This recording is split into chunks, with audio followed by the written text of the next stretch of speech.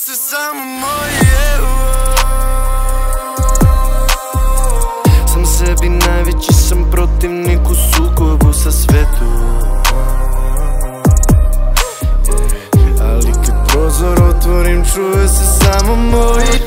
Ti bih hteo da si neko i da čuješ se daleko Ali prenisko je to za eho. Ti bih trčao za srećom ali teško je sa kešom A i premalo je to za eho.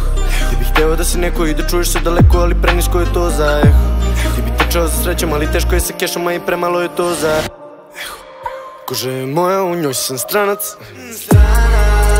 Uho mi je mapa Zakopanim blaga Pod nogama je stolica i oko vrata kanap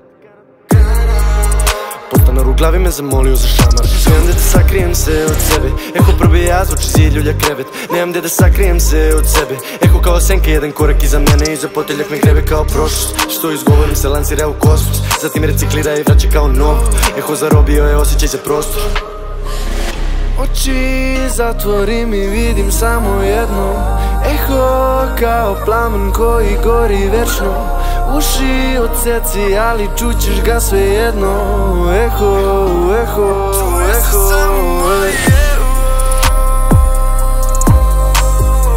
Sam sebi najveći sam protivnik u sukobu sa svetom.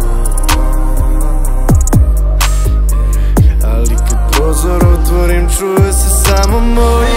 Nisam zvao nikoga, neko se odaziva. Nisam znao da i ova noć će biti ukleta. Vreo mozak pregrejala ga je polifonija Ova soba šizofrenična je puna glasova. Ti bih htio da si neko i da čuješ se daleko. Krila širiš dolje svet, ipak pranisko za eho. Ti bi trčao za srećom, ali teško je sa kešom. Ruke pune, ali sve to ipak premalo za eho